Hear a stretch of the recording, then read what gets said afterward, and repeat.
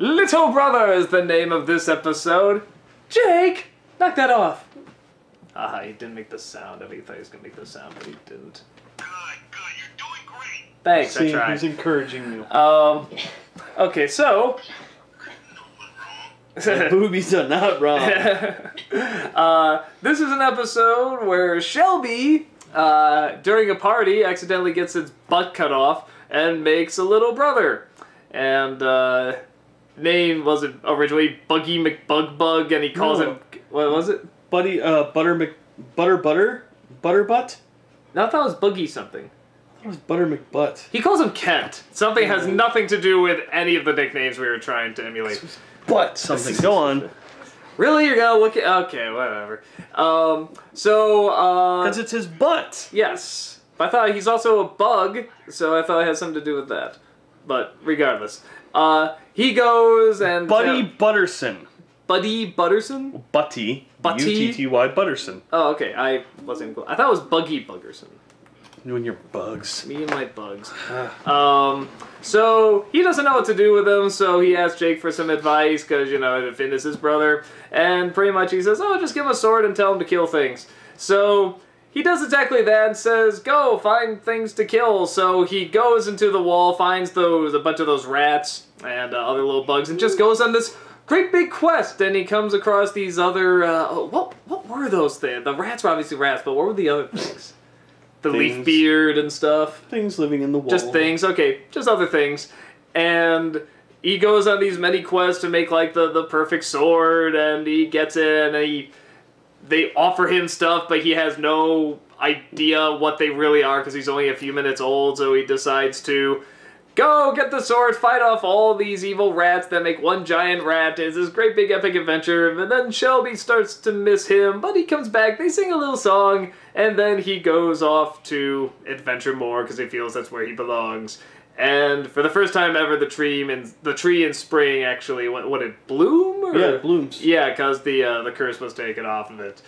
Um, and yeah, it, the first thing that came in my head, I'm worried if it did for you too. Remember Lemmiwinks Yes. from South Park? Exactly That's the first thing that came in my head. Yeah, Winks. Da, da, da, da. Oh yeah. Which I is- am the Sparrow Prince. yeah, it's it's this little gerbil that gets shoved up a guy's ass, and it's just like there's another episode going on, but just every once in a while, it'll cut back to him and his adventures in the ass, pretty much. And it's like it's just something that clearly should not be this epic grand adventure, but it is Oh, in yeah. this case.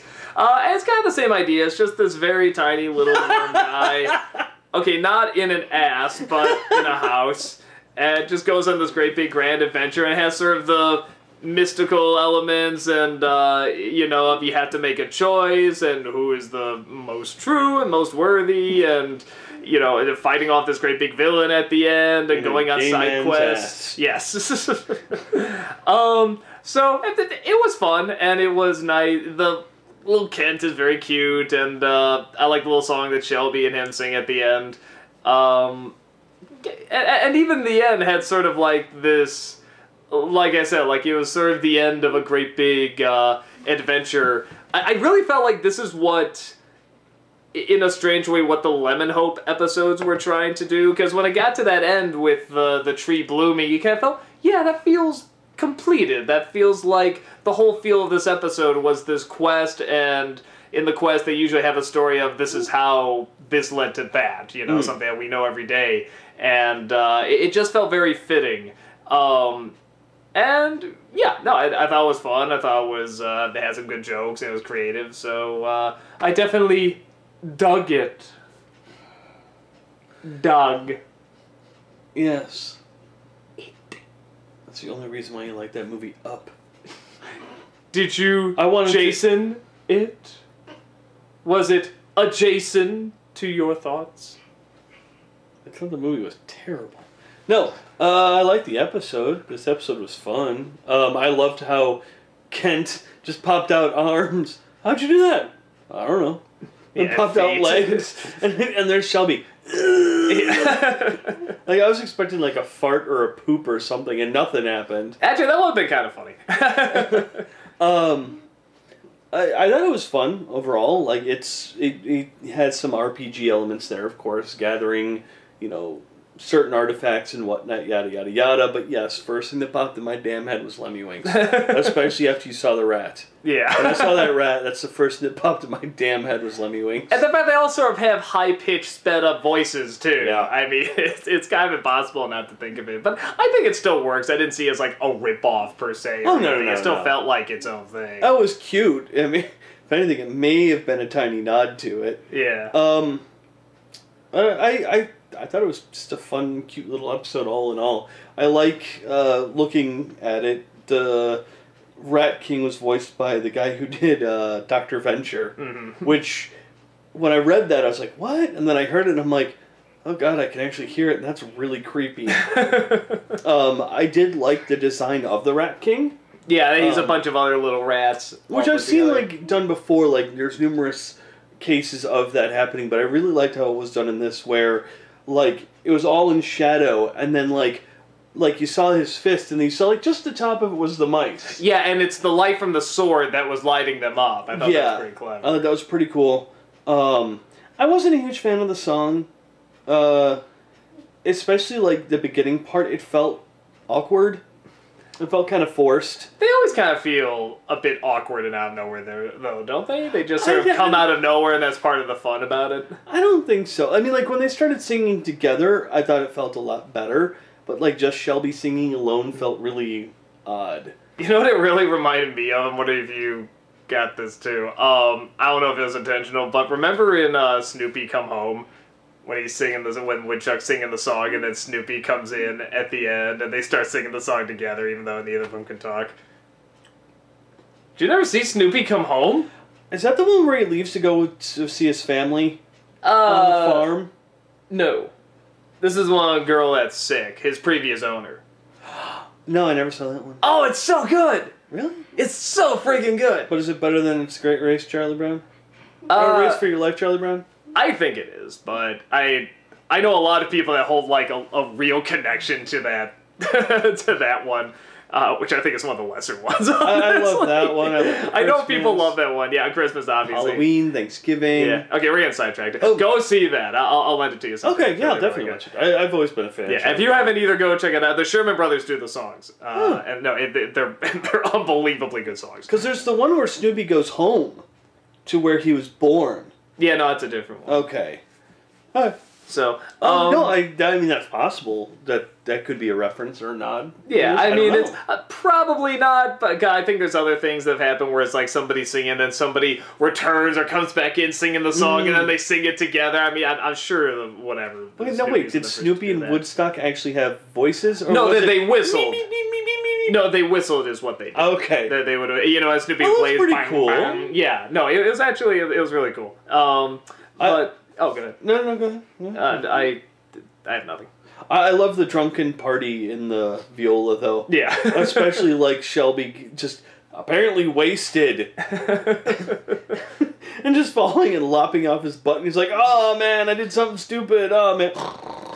Shelby's always a character when I see him, I sort of think, oh, okay, a, a Shelby episode, whatever. But then I'm I'm always laughing with him. I'm always like, eh, no, this is fun. Like this is a good episode with him. Um, Shelby's always great. yeah, I don't know why every time I see him, maybe because he is a worm, and I just always think, oh, yay, the life of a worm. Ooh, but it's, it's like they're usually pretty funny, and and his the the voice and the delivery is really funny. What's- So yeah, it's always good. who could be who? What was it? Who could be worse off than him right now? Me, watching him. Yeah. I thought it was fun. I thought it was fun. It was interesting, and yeah, I will never get Lemmiwinks out of my head. you will get him out of a few other places, I'm sure too. Uh, so, any closing thoughts? no. No. Well, guys, this is gonna be the last one for a while. Uh, not that we're gonna stop altogether, but I mean we've gotten to the point where you know now we're sort of watching them the same time you guys are watching them. We have to wait for them to come out, uh, so we can't just watch them in bulk. Uh, so like I don't know exactly how it'll work because it's I mean uh, maybe I can just always drive up here for one episode or whatever. It's like I said, I could, you know, because I love coming up here. I love seeing you guys. Um, so, but bottom line, we'll still keep doing the episodes, kind of like how Rob and I do like the the Korra vlogs and stuff. Um, so they'll keep going. It's not like an official end or anything, but sort of like the everyday thing. Uh, we're not going to keep going. Um, I don't know if I'm going to do another show. I was kind of talking to Mike Machado about that. And he was saying like just just do it if one like really comes to your mind, like you really want to do. Um, and I can't think of anything. that- Dora. Dora the Explorer. Yes, Yes. we will make this happen. Let's talk about the symbolism of Dora. well, we can learn along the way. what what does he mean? I'm the map. What does it mean to be a map? But remember, swiper. No swiping. the depth. Sorry. I probably learn Espanol. I mean, actually, it would be very that? educational. Uh, it's an alien language. I'll tell you later. Um, French? sure. But um, yeah, so I don't know. I, I'm like, there's one show I was thinking about doing, but I mean, I won't give it away in case I do it. Um, I will say And no, it's not My Little Pony. No, it's not My Little Stop Pony. asking. um, and uh, I, I will say this too because I'm actually wrapping up uh, Breaking Bad. I'll do one vlog just on Breaking Bad in general Oh. because everyone's always like, "Uh, "Do Breaking Bad vlogs," and I'm like, "It's a really good show, and I have stuff to say about, it, but I can't do episode by episode. I it, not that there's not a lot to talk about, but it's not like."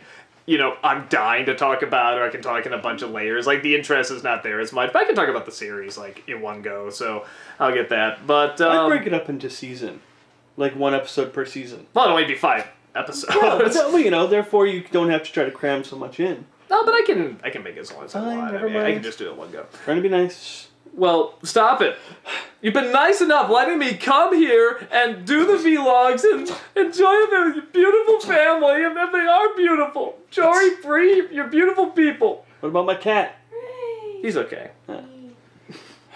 Kill him, Naruto. Kill. Or sleep. Yeah. He didn't even open his eyes. I don't know. Fucking cat. Um, I do want to say though, even though this isn't like the last one or anything, but I really do want to say, I mean, like, I start off doing these like because everyone's like, do Adventure Time vlogs, and I start, I had no idea what to talk about, and uh, I remember I was just talking to you at a party. I'm like, dude, I have no idea what to say about this show, and you were talking about all the things that were coming up and all the different sort of themes that go on, and I just said, would you be willing to do this with me? Because I can't think of No, anything no, to no, say no, right no. now. No, okay, I- okay, how did this work? How did this work? I need to correct you on this. Mr. Memory, okay, uh, how did it work? Because it was you and Brad. It was after you recorded the episode with Brad, I guess. Uh-huh. And I just was babbling about Adventure Time, and you looked at me and said, "Oh, good, you're helping me." Oh, that's right. And I said, "Okay." And you show up with camera, and you, we watch an episode, and you plop the camera down, and you just start talking. No script, no forewarning, no nothing. You're terrible at this. I'm not terrible at this. You're just too good at it. Hmm. Yeah, because you picked it up right away and you did great at it. But no, that's that's pretty much how this whole thing began. Was I was babbling about it, you know, this show, and you're just like, "Oh, you're helping me then," and I'm like, "Okay." it was fun. It, it the whole thing has just been a blast, and Jory, as much as she gripes, she had fun. Hooray! See, She's been here the whole time. She just chooses not to be on air. the the whole family's here and they're just like, no, don't put us in, even though we've been on camera like a million times. and now we go to conventions and have people praise us, but no, don't put us on camera. We can't. We can't. No, praise me. Please praise me. But, I really do mean that. I mean, just really all you got, because every time, I mean, it's like, it looks like we're having fun here just talking about this. It's like, we really are, and that really Yeah. is because the environment you guys create is just so relaxed and so cool, and you guys just have a ball doing this too. So really, thank you guys so much. I mean, you're, you're all just, you're a really goddamn cool family. No, thanks for coming. I mean, it's every time you come over, it's always fun just to chill with you. yeah. And then watching this show, it's nice to be able to share something I love as much as I do with you, and for you not to be like, "You're an idiot, just go away." It's a goddamn kid show. I mean. Well, yeah. Plus the stupid crap I do, like throwing at stuffed animals at you and everything. You roll with the punches just as much as I try to. Would it be so funny if I didn't just like, What is this? No, vlog ruined. Cut, cut. no, some people were not happy with that. Well, I had a blast. but yeah, that's I definitely every time you come over and you know we watch, it's just always fun because also I love. Even if I disagree, I love your take on each episode mm-hmm. because it's not just the same. if it was the exact same thing, I always thought it would be boring as Yeah, hell. it's like why there even be the two people doing it. Yeah, and it, we're never like exactly the same. Like we always have a little bit something different here or there, and I love hearing what you have to say because a lot of times it's not what I'm thinking. Yeah. No, I it's you- yeah, of course. You, you always have different points of view too, and it's went out really well. So, um, yeah, I'm sure you guys are just like, you know, oh God, just kiss already. But um, yeah, we're just gonna go ahead. We're gonna end this here.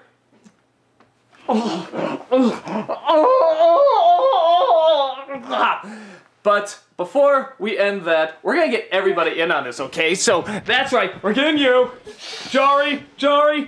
What do you gotta say? Say goodbye, Jory. Goodbye. I love you. Bree, you gotta say something. Say something, Bree. Say something. I. Well done. Jason, now you. What? Who? What? Cats. Cat. Naruto. What do you have to say, Naruto? I love you, meow. Wow. He talked. He friggin' talked. Oh my god. Do it again. Screw off, bitches. I think that was you. let's, let's just say goodbye, everybody. All right, I get it, I get it. Oh, Goodbye. Goodbye. Y'all come back now, you hear? Maybe not. Uh, why? Why? Wave again. We'll make a gif out of it. Wait, don't I need to check my butt? And that's what we'll end on.